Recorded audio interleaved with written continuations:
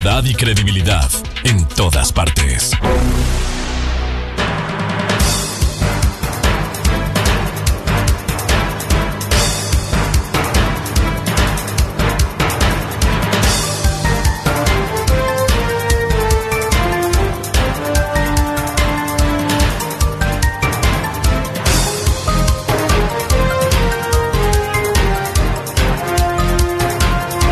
Ocho un minuto en el territorio continental ecuatoriano buscando la verdad y abogando por la unidad nacional en pro de la paz y la seguridad en el Ecuador.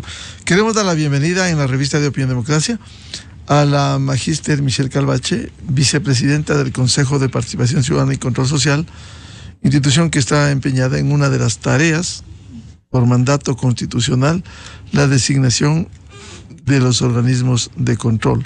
Precisamente en las últimas horas hubo la designación de quien por mandato legal debe presidir el órgano administrativo y disciplinario de la Judicatura, la doctora Dunia Martínez. Siempre será importante conocer en este concurso, luego del envío de la terna de la Corte Nacional de Justicia, quién es Dunia Martínez, de lo que hemos leído, una eh, eh, reconocida académica, profesora en tercer nivel y en posgrado, y que va a dirigir el Consejo de la Judicatura, que tiene grandes desafíos, el concurso de jueces nacionales, la evaluación a jueces y fiscales, eh, la depuración de la justicia. ¿Cuántos jueces están, tienen procesos disciplinarios y que debe resolver en los próximos días y semanas? ¿Qué pasó con esta designación? Porque ya hablaremos también de presuntas irregularidades no sustentadas que se ha dicho precisamente en el Consejo de Participación. Muy buen día a Michelle Calvache. Muy buenos días, muchísimas gracias por esta invitación. Para mí siempre un gusto estar aquí, Miguel. Eh, ¿Quién es Dunia Martínez, la designada para el Consejo de la Judicatura? Bueno, en este sentido, nosotros sabemos perfectamente ya en este punto de que la Corte Nacional de Justicia es la que envía esta terna con los tres nombres que ellos creen que pueden llegar a ser la mejor opción para presidir el Consejo el, em, Consejo de la Judicatura. En este sentido, se ha realizado todo el procedimiento en este mes y medio, si mal no estoy, eh, mediante el cual se armó la veeduría ciudadana, eh, se llamó a impugnación ciudadana. Eh, de la cual existen dos impugnaciones, una al primer postulante, al señor Telmo Molina, y, y una al tercer postulante, en este caso el señor Godoy. Eh, se tramitaron las impugnaciones eh, por falta de pruebas, en fin, no se llegó a, eh, a designar o desvincular, mejor dicho, de este proceso a ninguno de los concursantes. Y el día lunes se trató de revisar su plan de trabajo de todos y cada uno de los postulantes. Y en este sentido pudimos ver, fue una sesión bastante larga, casi hasta las 4 de la tarde, en donde pudimos escuchar cada uno de los planes de trabajo que tenían para estos seis meses, en los cuales cada uno de los consejeros pudimos hacer todas las preguntas correspondientes para poder eh, dilucidar quién era el candidato más opcionado, quién tenía el mejor plan de trabajo aterrizado a estos seis meses que le quedarían a este Consejo de la Judicatura, puesto que como ustedes saben, en enero tenemos que renovar por los próximos seis años a los miembros del Consejo de la Judicatura. Es decir, es solamente para completar estos seis meses, eh, después de haber hecho las preguntas correspondientes y demás. en mi caso, tomé la decisión de poner una moción resolución para que la señora eh, eh, Dunia Martínez sea la presidenta del Consejo de la Judicatura. En, eh, como ya habíamos tenido una larga jornada, lo que procedimos es a hacer un receso de un par de horas. Estábamos en sesión permanente, que solo contempla el, el estatuto nuestro reglamento y se retomó a las seis de la tarde conforme fueron notificados todos los despachos. Nosotros estuvimos alrededor de 45 minutos esperando que se conecten todos. Eh, lastimosamente, eh, algunos consejeros y en especial la señora Bonifaz no se conectó nunca. Eh, se inició la sesión. Nosotros empezamos el, el pleno como tal.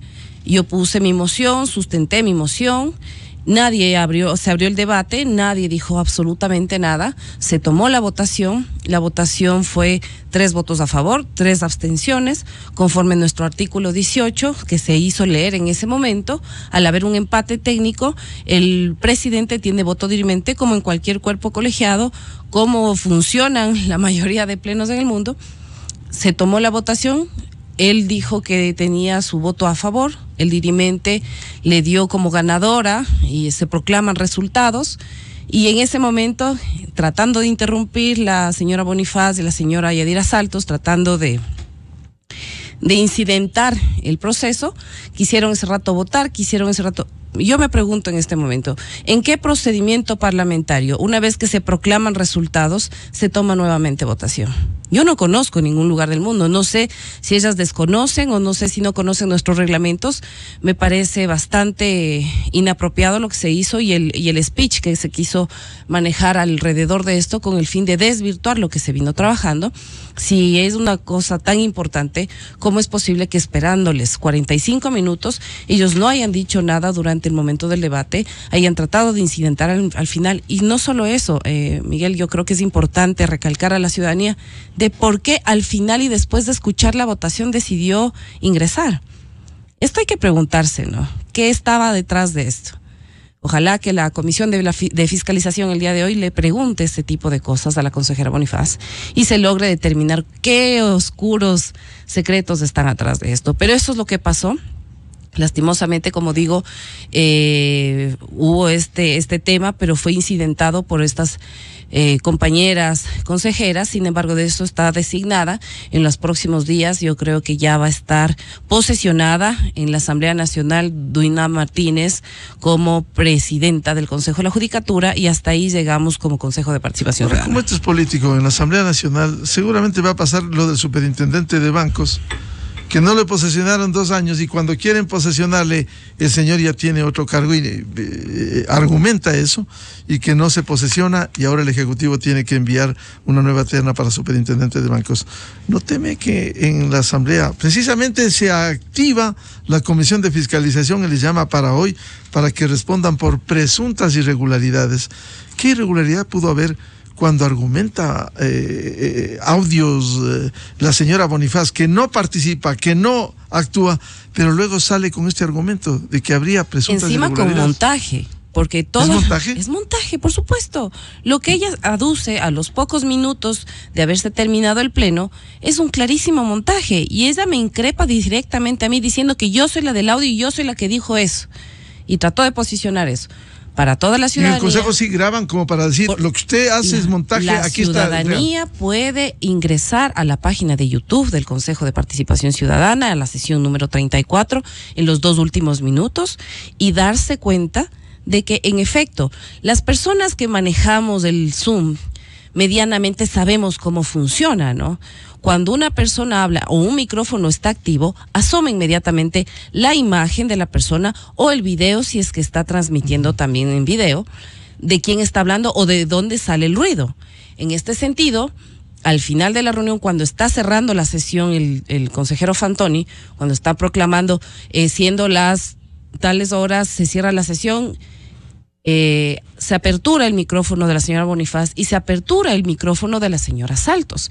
Entonces, al subir un video en el cual montan una foto cualquiera mía y ponen ese audio de abajo, eso es un clarísimo montaje para tratar de perjudicar mi imagen de perjudicar la designación que, no reflejaba esa sesión. No, para nada. Si yo no estaba con ni el micrófono ni el eh, ni el video, eh, ya acabó la o sea, se acabó la votación y yo ya cerré mi, mi micrófono y mi video porque ya, ya no había más que votar. El señor presidente votó al final con el dirimente y demás, pero yo ya no estaba participando. Yo ya actué en dentro del proceso. Según el artículo 18 es clarísimo ningún consejero en las votaciones puede ni interrumpir ni tampoco tomar la palabra si es que el presidente no se la da. Es decir, ellos trataron ese rato de incidentar, trataron de, de que la señora no llegue al cargo, porque obviamente tienen otros intereses, y al no permitírseles, eh, comenzaron a, poner o planificar en redes sociales este montaje que estuvo eh, claramente determinado. Yo incluso hice una superposición en un video de qué es lo que ellos subieron y qué es lo que está eh, publicado en redes sociales, que ustedes pueden verificarlo, como digo, en YouTube, en la sesión número 34 para que vean que no estoy mintiendo. En ningún momento yo he dicho absolutamente nada. Eh, yo no tengo interés alguno. Yo solamente quise y hice que, se, que gane la mejor de esa terna. El que mejor plan presentó, la persona más limpia, honesta, sin impugnaciones, que ahora también la probidad notoria creo que es algo importantísimo para un cargo como estos. Y por eso es que yo la propuse a la señora y por eso se tuvo en un procedimiento parlamentario que ganó la señora y ahora debería ser posesionada. Ahora, si es que van a hacer otros artilugios para que esto no suceda, ya no depende del Consejo de Participación Ciudadana. ¿Hay un recurso, la reconsideración de la votación, se, se produjo eso o podrá plantearse en una próxima reunión? Entendería que el día de hoy tenemos una sesión ordinaria y podría plantearse este tema. Si tienen los votos, que lo hagan. O sea, no tengo ningún problema. Yo no tengo un interés ninguno en este proceso más que llegue la mejor persona.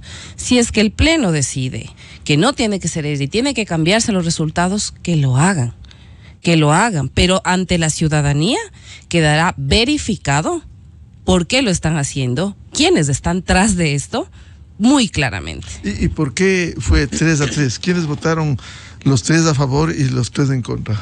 Al no presentarse ni al principio de la sesión, ni en el debate, ni en la votación, la señora Bonifaz, estuvieron presentes con voto abstentivo la consejera Yadira Saltos, la consejera eh, Joana Verdesoto y el consejero Juan Esteban Guarderas. ¿Él se abstuvo? No, no, se abstuvo. ¿No votó a favor de...? No, se abstuvo.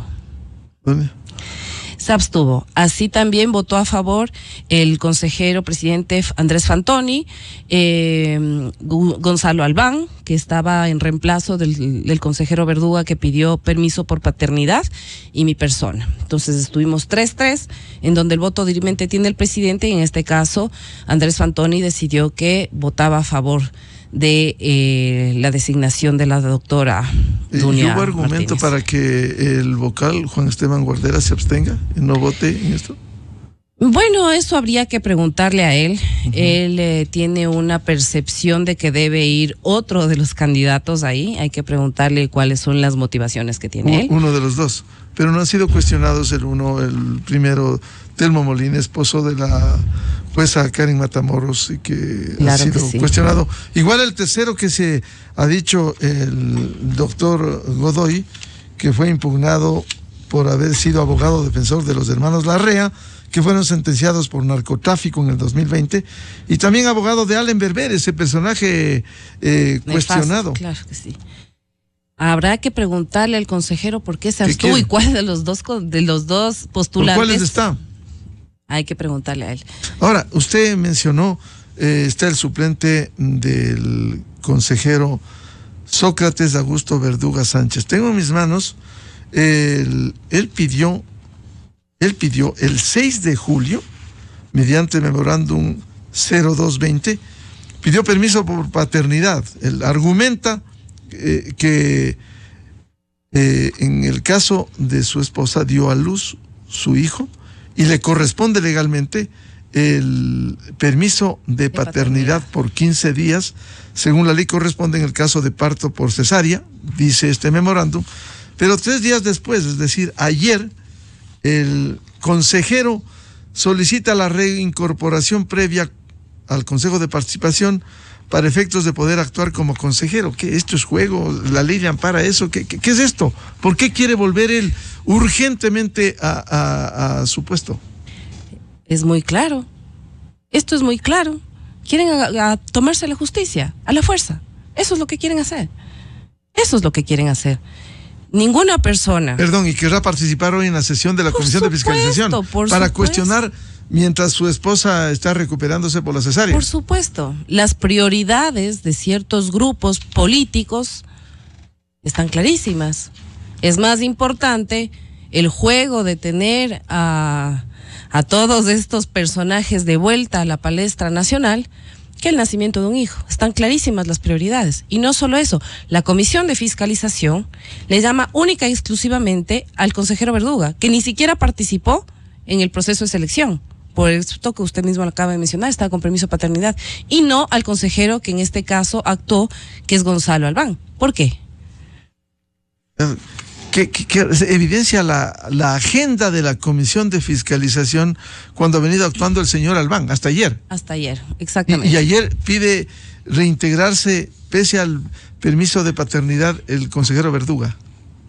Hay que saber, únicamente la reconsideración se puede hacer al siguiente o la siguiente sesión eh, después de tomar una decisión. En este caso, la, siguiente sesión es de hoy. Hoy. Es decir, ya estará. Está clarísimo lo que van a hacer. Primero en la comisión de fiscalización. Primero en la comisión de fiscalización y después van a hacer algún artilugio, no, no, se, no, se, no se les haga raro que hagan algún movimiento con algunos pactos para, no solo, quién sabe, eh, cambiar al presidente del Consejo de la Judicatura, quién sabe si quieran reconformar. Okay, y, así es una nueva mayoría cuando el, el doctor Juan Esteban Guarderas se está absteniendo. Esperaría que no porque eso diría mucho de lo que se ha circulado también en el Voz Populi, ¿no? De que está junto a personajes complicados de la palestra nacional. El doctor Guarderas. Así es. Pero él estaba luchando contra eso y ahora está en el otro andarivel. Veamos, veamos qué sucede, veamos qué sucede. Yo no puedo hablar ¿Y por qué hubo seis de siete eh, el día Porque de la Nicole Bonifaz no le dio ningún momento la gana de entrar eh, a la hora correspondiente. Es más, yo tengo conocimiento de que varios de los asesores de presidencia estuvieron insistentemente llamando al asesor de la consejera Bonifaz y ella simplemente decía cinco minutos, cinco minutos, ya, me, ya ingresan. O sea, intencionalmente haciendo el juego. Estaba, estaba incidentando. ¿Por qué? ¿Por qué estaba esperando, aplazando tanto? ¿Qué era más importante que la decisión de saber quién es el presidente del Consejo de la Judicatura? No entiendo qué organización social, ONG o, o, qué fue tan importante que ella no pudo suspender eso por atender la, nuestra función más importante, que es en este momento la selección de las autoridades más delicadas del país. O sea, se podría presumir desde afuera que si hoy hay los siete, piden la reconsideración, y seguramente reconsideran la designación de Dunia Martínez? Así puede ser, así puede ser. Se están tomando la justicia a la fuerza. Porque el, eh, eh, se tenía entendido que venía votando el doctor Juan Esteban Guarderas en algunos pronunciamientos del Consejo de Participación. Claro, así es, pero lastimosamente cada consejero tiene su agenda propia y responde a los intereses particulares y no nacionales. ¿Y cuándo tienen una agenda de país? no el interés personal. Eso es lo que yo también me pregunto. Mientras unos consejeros estamos luchando, trabajando durísimo para atender las autoridades, creo que ha sido clarísimo y notorio que esta nueva administración ha avanzado muchísimo en los procesos. Tenemos varias autoridades designadas, hemos destrabado en muchísimos trámites. Los mismos 1.200 que dejó la expresidenta Nicole Bonifaz ya están al día, todo está casi al día. Sin embargo, de eso ellos quieren marcar su agenda clarísima y lastimosamente no están viendo en el sentido del país, sino por sus intereses particulares. Y eso sí es una gran pena. Eh, tengo en mis manos, y doy la fuente, eh, un pronunciamiento de la comunicadora Janet Inostrosa. Dice, el consejo, el consejero Augusto Verduga deja su permiso de paternidad y regresa al Consejo de Participación Ciudadana, lo que habíamos leído con los documentos en la mano, eh, tanto el pedido, el trámite de paternidad, cuanto el reintegro que solicita ayer. agrego lo que dice Janely Nostrosa, el consejero Verduga para intentar dejar sin efecto el nombramiento de Dunia Martínez como nueva presidenta del Consejo de la Judicatura. Verduga, junto a Bonifaz, Saltos, Verdesoto y Guarderas, Juan Esteban Guarderas, solicitarán la reconsideración de la votación. Intentan recuperar la presidencia del Consejo de la Judicatura. Dice Janet, elegir a Mario Godoy, impugnado por haber sido abogado defensor de los hermanos Larrea, sentenciados por narcotráfico en el 2020.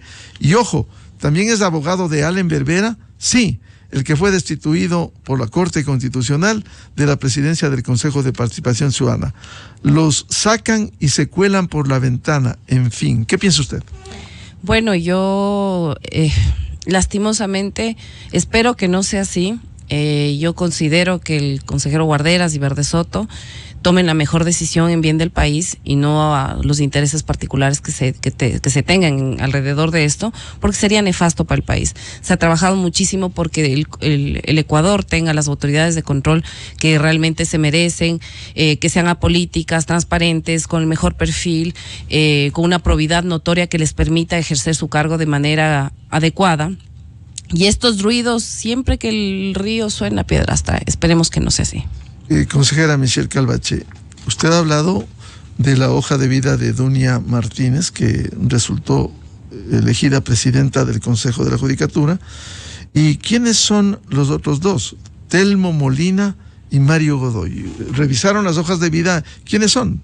Bueno, en este caso eh, también pueden verificar al principio de esta sesión número 34, yo fui bastante fuerte en cuanto a las preguntas que les hice a los postulantes con el fin de un poco determinar cuál es su línea y demás. En el caso del señor Molina, eh, yo incluso me acuerdo que le pregunté en la sesión del Pleno de que si también está concursando para ser juez y que si eso no eh, de, la, de la Corte Provincial. Y si eso no, si llegara a ser presidente del Consejo de la Judicatura, eso no sería estar también como juez y parte para poder llevar a cabo esta función. Lo que él no me supo manifestar mucho. Eh, posterior a eso, él estuvo participando, quiere decir que está jugando a, a varias puntas a ver qué le sale. No me gustó eso para nada. Eh, su plan de trabajo era muy ambicioso, muy bonito en teoría, pero cosas que no se iban a poder realizar. no, para nada. En seis meses era imposible hacer eso. Y realmente eh, no, no me pareció un plan correcto. Eh, lamentablemente eh, salió con incluso un tipo de cosas de hablando de los choneros y cosas por el estilo que también no me no me no me nació la, la confianza para para decir, bueno, es una persona que parece, por lo menos aparenta eh, cierto grado, cierto tipo de, de lo que necesita ahorita el Consejo de la Judicatura. Entonces, no me pareció muy bien. Eh, de igual manera, al señor Godoy le pregunté hace cuánto estaba trabajando en Petroecuador. Mm, titubió, no supo responder, pero él estaba trabajando en Petroecuador cuando este nombre ya fue propuesto en la terna y posterior a eso renunció unos días después, unas semanas después. Entonces, eh, hay muy claras vinculaciones no solo a partidos políticos, sino a autoridades del país. Entonces, eso también no me daba la seguridad y la certeza de la independencia que vayan a tener como máximo representante de la justicia del Ecuador. Entonces, para mí el perfil más óptimo, catedrático, no manchado eh, en general y tampoco eh, que tenía algún tipo de no estaba vinculado al, al, al, sistema judicial tan corrompido, me parecía el perfil más idóneo para poder con una mente nueva, fresca, no corrompida con el sistema judicial, pueda tener una visión más amplia y más eh, neutral para poder llevar a cabo estos seis meses, porque recordemos que a la final son seis meses en los cuales se tiene ah, pero para los políticos es muchísimo seis meses. Hay de por medio concurso jueces nacionales eh, y con jueces nacionales, evaluación de jueces y fiscales, sanción a jueces corruptos, jueces venales. Es decir, hay mucho en seis meses, en un día lo que se pudiera hacer. Exactamente. Entonces, para haberse activado la asamblea, para haberse activado, dejar votado el permiso de paternidad, que para mí eso es algo horroroso, y venir corriendo a tratar de, salvar los muebles, sí llama mucho la atención de cuáles son los intereses que se manejan detrás de esto, ¿no? El, el caso de Mario Godoy, el, el tercero de la terna, eh, ustedes saben, y, se ventiló eh, en la evaluación que ha sido abogado defensor de los hermanos Larrea sentenciados por narcotráfico y luego abogado defensor de Allen Berbera. Sí, así es. Eh, ¿Se ventiló? ¿Se señaló esto? Lastimosamente, las, los impugnantes no se presentaron. Eh, fue bastante extraño porque uno de los impugnantes asistió a la, a la, a la audiencia pública y después desapareció. Ya no estuvo en la impugnación en el careo como tal y no se pudo ventilar o llevar a cabo esta impugnación. Entonces fue bastante extraño y la otra nunca apareció tampoco. Entonces llama mucho la atención esto. tocó desechar estas impugnaciones, pero esto quedó sonando. Yo le pregunté en este sentido al señor Godoy qué pasó con estas noticias que circularon en redes, cual que explique, que explique a la ciudadanía. Se evadió. evadió, evadió totalmente. ¿Y ser abogado de Allen Berbera? Evadió, dijo que él era un abogado en libre ejercicio y que tiene derecho. nunca dijo no. No, nunca dijo no, obviamente que nunca dijo no, pero dijo que él en su libre ejercicio podía eh, representar a quien a quien le, le, le, pague sus honorarios, entonces que eso no es una prohibición. Que en, en, teoría no es, pero ya a uno ya le da la percepción de cuál es su círculo cuáles son sus, sus amigos cercanos y, sus clientes. Y quién sabe si esto al futuro. ¿Abogado defensor de sentenciados por narcotráfico? Eso es gravísimo, eso es gravísimo, por más que haya sido hace muchos años, por más que fue después. ¿Y, prestándose para esto el doctor Juan Esteban Guarderas, consejero? Le pregunto. Eso habría que preguntarle a él. Mi percepción es que sí. Usted decía, quieren tomarse de nuevo la justicia. Así es. ¿Este es un mecanismo? Echar abajo hoy la designación y poner a uno de los dos, Telmo Molina o Mario Godoy? Esa es la percepción que tengo y eso es lo que muy probablemente pase y es la alerta que quiero hacer a la ciudadanía de, de lo que va a pasar. ¿Y qué va a pasar en la Comisión de Fiscalización? ¿Qué van a responder frente a los cuestionamientos? ¿Estarán bien armados cuando va a ir el consejero eh, identificado con la Revolución Ciudadana? Que tiene permiso de paternidad y deja votando el señor Verduga. Bueno, eso habrá que. Nosotros no tenemos nada que esconder. La sesión es pública, a pesar de, la, de los incidentes que quisieron causar en este caso la consejera Yadira Saltos, que extraño, y la consejera Nicole Bonifaz, que extraño, siempre vinculados a esta misma Liga Azul. Eh, la desesperación les está haciendo actuar abruptamente. Eh, sabemos a quién pertenece la Liga Azul y por qué estamos llamados a la Comisión de Fiscalización, pero nosotros no tenemos nada que temer ni nada que ocultar. Hemos hecho las cosas conforme lo manda el reglamento, conforme lo manda la ley y no vamos a permitir este tipo de amedrentamientos ni tampoco eh, que nos traten de, de, empujar a, a, presionarnos de alguna manera. No vamos a someternos a las presiones políticas que quieren hacernos, en este caso, para amedrentarnos. ¿No teme que se esté configurando una nueva mayoría ya a favor de la Revolución Ciudadana porque hay que identificarlo? Bueno, quedará develado las personas que siempre lucharon en contra de eso. Y Eso del doctor Guarderas, digamos. Que sería muy claro, sería absurdo, porque él ha luchado en contra de algo, tuvo una sentencia porque estaba en contra de algo, y si se alinea al otro lado sería totalmente ilógico, creería yo. Esperemos que no sea así.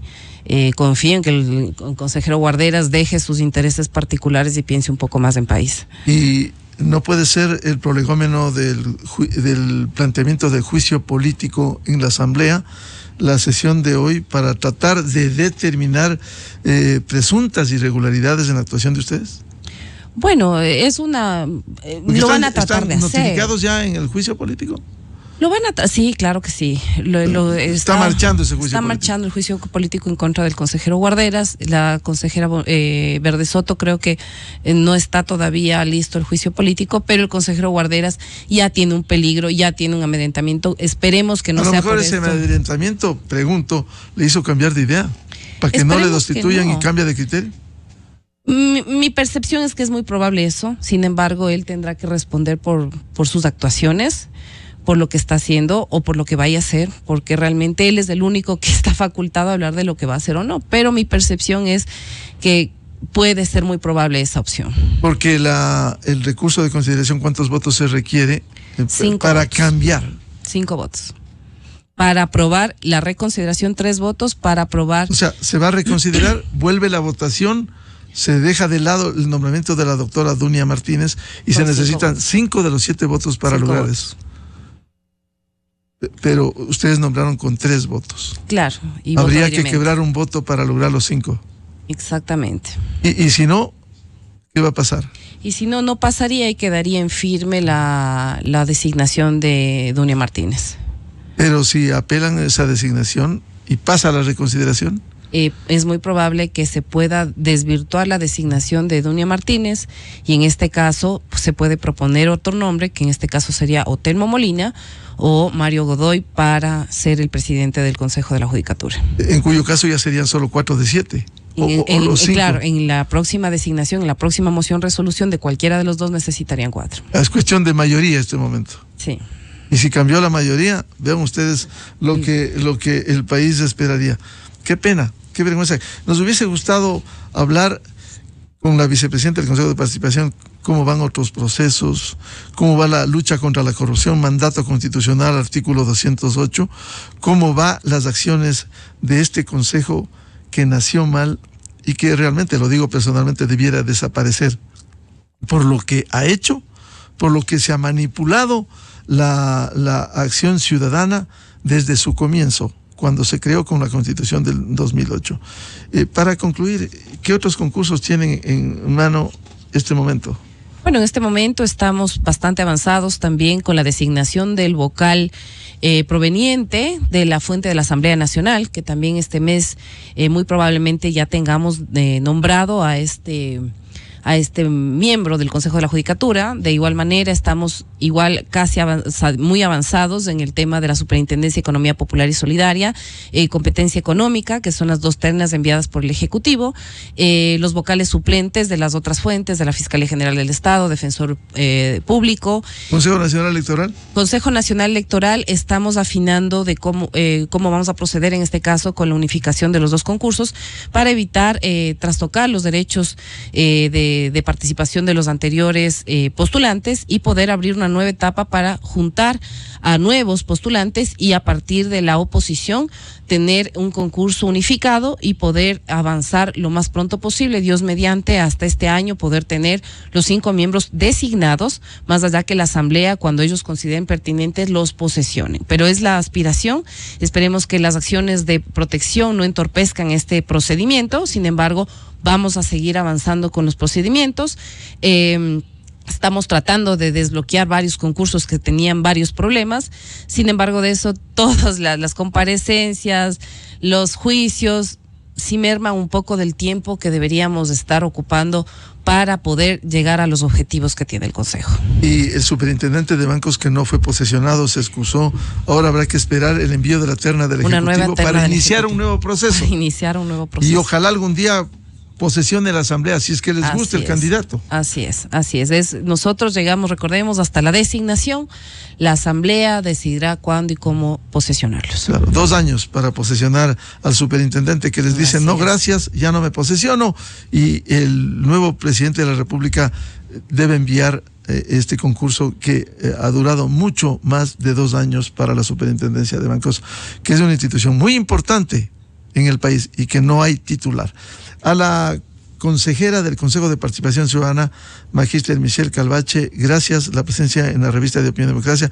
Y pendientes de lo que suceda hoy, tanto en la Asamblea Nacional con esa comisión de fiscalización y también la reanudación de la sesión del Consejo de Participación para analizar la designación de quien ya fue, ya fue elegida, la representante de la justicia de la función judicial ante el Consejo de la Judicatura y que por mandato legal debe presidir ese organismo administrativo y disciplinario. Muy amable. Muchas gracias, Miguel. Un gusto siempre estar aquí en este medio de comunicación.